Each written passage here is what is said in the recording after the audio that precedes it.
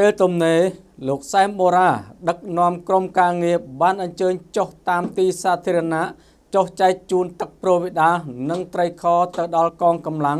និងបងប្អូនអ្នកសារព័ត៌មានយើង ដើម្បីជាការចូលរួម និងវប្បធម៌ចែករំលែករបស់ TNM ច្រើនលើកច្រើនសារមកហើយ។ ប្រូវីដាទឹកស្ព្រីងធម្មជាតិមានសារធាតុរ៉ែពីធម្មជាតិជំនួយដល់សុខភាពនិងត្រូវបានទទួលស្គាល់ស្តង់ដារអន្តរជាតិ ISO 9001:2015 ISO 22000:2018 HACCP និង GMP ប្រូវីដាទឹកស្ព្រីងសុខភាព កាលពីម្សិលមិញនេះព្រឹកថ្ងៃទី5ខែធ្នូឆ្នាំ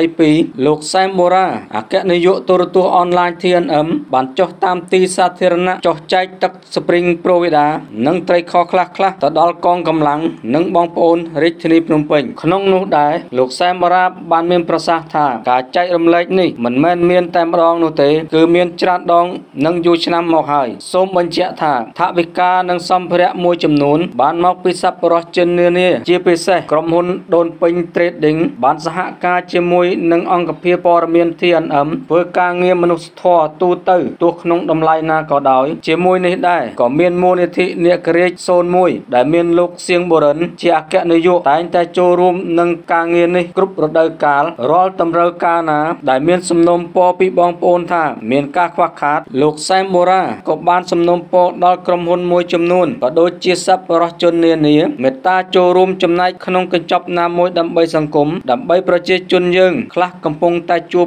ការលំបាកខ្វះខាតប្រចាំថ្ងៃឬព័ត៌មានលម្អិតសូមទំនាក់ទំនងការិយាល័យលោកសែមបូរ៉ាជាអគ្គនាយកអនឡាញដំបូងគេនៅកម្ពុជា តាមរយៈលេខឬតាម Telegram ផ្ទាល់012 69 66 79ដើម្បីសង្គមជាតិកម្ពុជា និងអគុណសន្តិភាព